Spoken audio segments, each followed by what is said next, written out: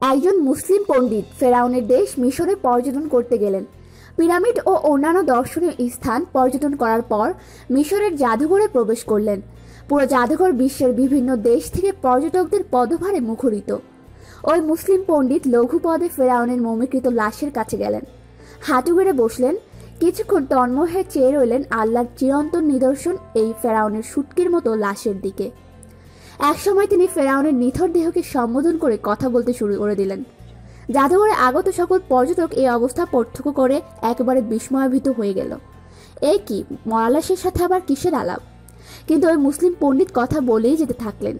তিনি বললেন, হে ফেরাউন, আমি তোমার কাছ থেকে দশটি শিক্ষা গ্রহণ করেছি। এক, আমি তোমার কাছে শিক্ষা গ্রহণ করেছি যে, আল্লাহর নির্ধারিত তাকদির অবশ্যই প্রতিফলিত হয়। যখন তুমি হাজার হাজার শিশুকে হত্যা করলে, যাতে মুসা আলাহিসাল্লাম জন্ম লাভ না করেন। কিন্তু যখন জন্মগ্রহণ করলেন, তখন তাকে তুমি তোমার ঘরেই লালন পালন করলে। দুই, তোমার কাছ থেকে আমি শিক্ষা নিয়েছি যে, অন্তর আল্লাহর হাতে থাকে, মানুষের হাতে নয়।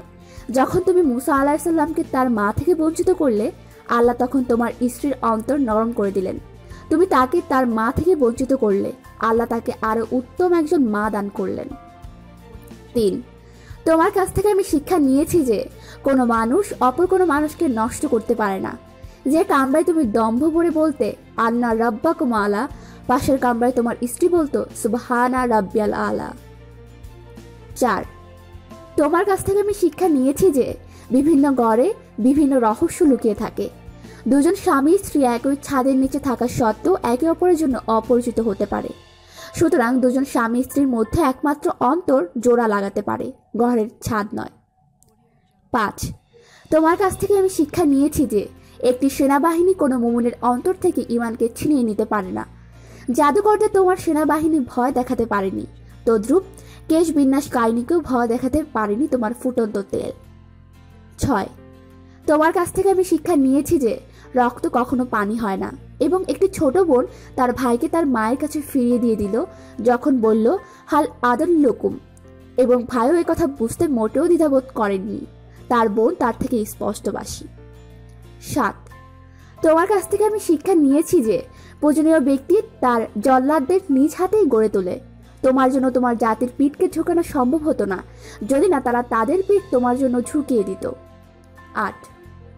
তোমার কাছ থেকে আমি শিক্ষা নিয়েছি যে আল্লাহ তালা যখন তার কোনো বান্দাকে সাহায্য করতে চান, তখন তাকে সাহায্য করতে পারেন একটি সামান্য লাঠি দ্বারা, যা আগে শুধুমাত্র ঠেক লাগানো ও গাছের পাতা ঝুঁকিয়ে দেওয়ার জন্য ছিল। নয়, তোমার কাছ থেকে আমি শিক্ষা নিয়েছি যে দুনিয়ার সকল বস্তু মানুষের উপর প্রয়োগ হয়, আল্লাহর উপর নয়। যে নদী কয়েকটি শিশুকে ডুবিয়ে দিতে পারে, সে নদীর ডাক হরকরা হয়ে একটি শিশুকে তোমার নিকট পৌঁছিয়ে দিল। অথচ তুমি ওই শিশুকে হত্যার জন্য হন্য হয়ে খুঁজে চলছ। আবার যে সমুদ্রকে পাড়ি দিতে হয় জাহাজ দিয়ে, সেই সমুদ্র পাড়ি দিয়ে দিলেও একটি জনগোষ্ঠী অনায়াসে। দশ।